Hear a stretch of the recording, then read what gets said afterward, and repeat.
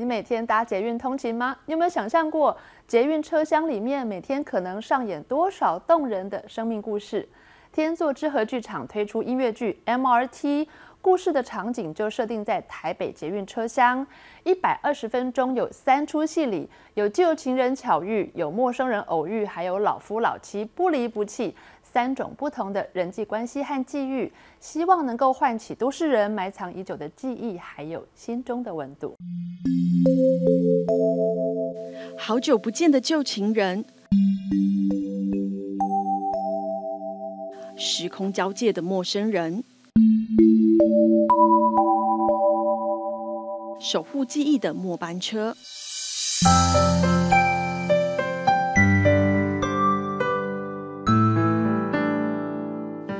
相遇，三段故事，在台北捷运车厢上一一上演。这是天作之合的音乐剧 MRT。MRT 这个剧名，好，表面看起来就是捷运，事实上我们重新赋予它的新的意义。MRT Memory Replay Track，记忆重现轨迹。错的都是我，你是大好人，你很关心八年前抛弃的前女友。一段好久不见故事描述一对八年前不欢而散的情侣在捷运车厢相遇，又在道别的过程。女主角张诗颖透露，每一次的排练都让她忍不住落泪。其实她在提的一个东西就是关于失去。其实不管过多久，你只要再碰触到它，一定都会让人觉得非常的难过，然后很悲伤。我觉得是这个东西，所以让我每次看这个剧本，我都会有一种啊，可不可以？像昨天我们走了一次整排，排完之后我就说，可不可以不要再哭了？太婆，这里是哪里啊？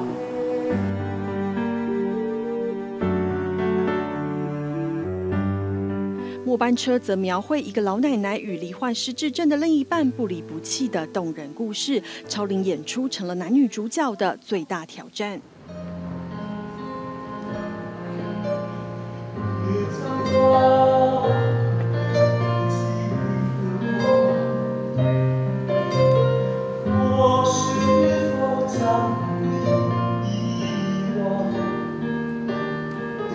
因为我是一个年轻人所以他必须声音有一点点微调。我本来是一个男高音嘛，但是这这个角色其实就要有点点呃中低以下的声音，所以我在在诠释声音的部分，其实我的方式有点做转换这样。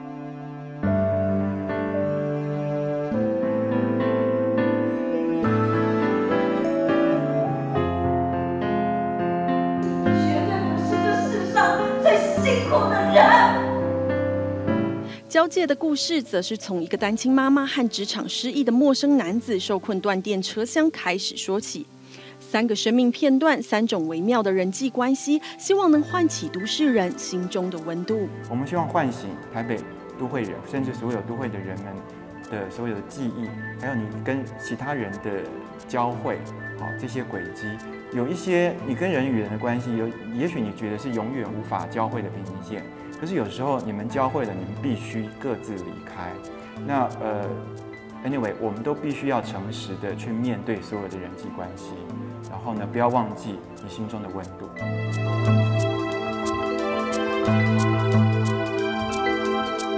开放式圆形旋转舞台打造成台北捷运车厢，MRT 邀请观众走进月台，展开三段充满温度的旅程。